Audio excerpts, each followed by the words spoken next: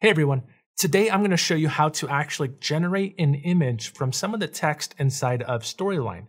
Now you could be using something like the AI assistant or something like that, and this will help you generate and create a completely new image. Now in order to use this, you do have to have the AI assistant.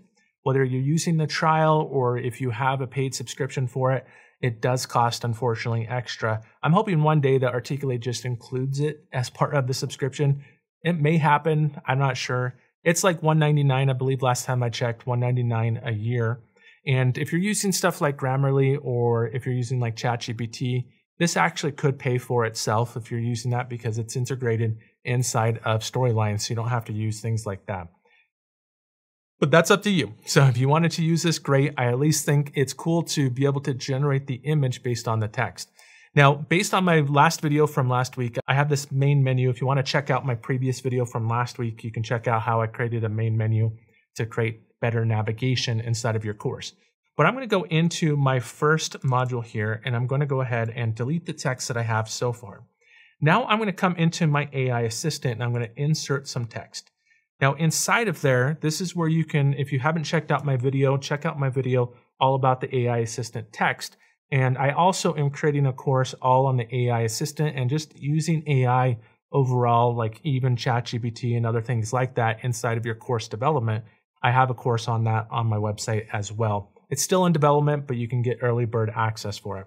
So let's go ahead and just say, so generate two paragraphs about avoiding phishing attempts in your email. All right, so let's go ahead and generate that text. It's going to give us some sample text that we can then insert. I'm not going to worry about specifically what it's saying right now. Typically, you would have to, but let's go ahead and just insert this right here. So let's click on insert. Now, this is where I think it's pretty cool. If you have some text and you just storyboard your course and you just have the text there, the struggle may be okay, what kind of image do I include inside of here? So that's where this feature comes into play. So, what I can do is I can actually just select a word to avoid falling victim for scrutinizing the sender's email, um, let's let's go ahead and just select the first text. Phishing attempts in the email are deceptive tactics by cyber criminals to steal personal information. I think that's pretty cool. So I'm going to select that text and then I'm going to click on these three dots up on top, or I can come up and click on insert image and either way will work as well. But I can also come in here, let me just select this text again. And then if I select that, this is where I can come down and I can select the drop down box to create an AI image prompt. Based off of this text, we're going to create a prompt. It's not going to actually give us um, the image itself, but it's going to create a prompt that helps describe this image. So, an illustration showing a phishing email on a computer screen featuring a deceptive message designed to steal a person's information. So, it is giving a lot more detail than what I had in that one sentence. Again, the goal of this is to help us create the prompt for the image. Now, what I can do is I can come in here and I could copy that. So I'm just going to go ahead and copy that. And I wish there was a button just to go right to generate image, which there's not, but let's go ahead and just copy that. And we're going to come in to insert image here. And this is where we're going to go ahead and paste that. Now I select from the drop down box what type of style I want. Let's go ahead and do 3D animation. And you can see this is the style. Now you can create custom styles. I talk about all of that in my course, in my early bird course that you can check out. But I'm going to go ahead and click on generate image and keep it as a 16 by 9 ratio and click on generate image here. Just from that simple text, I was able to create a prompt to be able to create more of an accurate image description. So right here, you can see that we have a very vicious person in the background and we have a computer with some phishing on here. Now, phishing would not be that obvious, but you can get the idea here and you can go ahead and click on it if you want to expand this out, kind of like this one right here where it says phishing up on top. This one's a little too blank around the edges for me there.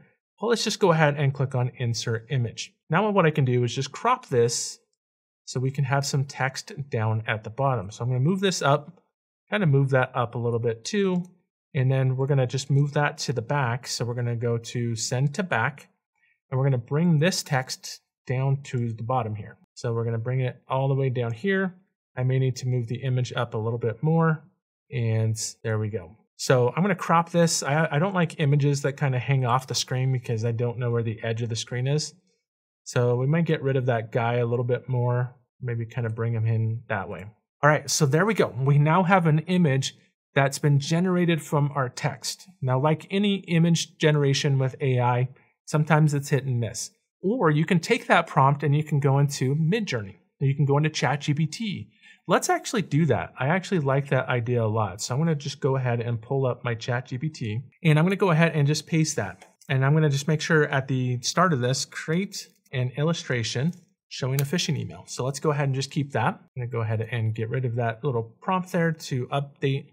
Now I could define what ratio I want. So do a 16 by 9 ratio inside of my prompt. I did not do that for this because I was doing it just for a storyline and you can actually adjust that as you're prompting.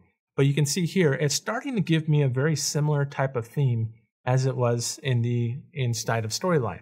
It's a little bit more of a graphic illustration here because I did not define it as the 3D animation. But you can see right here, your account has been locked, dear customer. We have temporary locked your account, which actually this is better because that is more of like what a phishing email would look like, where it has something urgent and it has something like you have to act now kind of thing because they want you to click on the button. So I actually like this image a little bit better but you can still use the text from Storyline, use the AI assistant to help you kind of define the prompt and then bring it over to Midjourney, bring it over to ChatGPT, use it inside of Storyline as well. So hopefully this has been helpful for you to show you how you can take and, and generate some image ideas, even if it's just image ideas, you can generate some image ideas and then go into other tools to be able to create the image. Or you could go into Adobe Stock or any other library you have and use that as a search, some of those keywords as a search inside of your stock library. So extremely useful if you get used to it to be able to just generate that image prompt and then help you kind of create the image as needed. If you want to check out more, head on over to my website at learningdojo.ninja. Here you can check out all full courses covering everything from A to Z inside of Articulate Storyline. You can also learn JavaScript if you want to customize Storyline and specifically for Storyline. You can learn how to track all of your learner behavior using XAPI. You can learn Articulate Rise and custom SCORM as well. Now, if you want to check out all of my previous blog posts, you can head on over to the blog area. This, I post a weekly blog every single week showing you how to do different things inside of Storyline. So you'll want to check that out as well.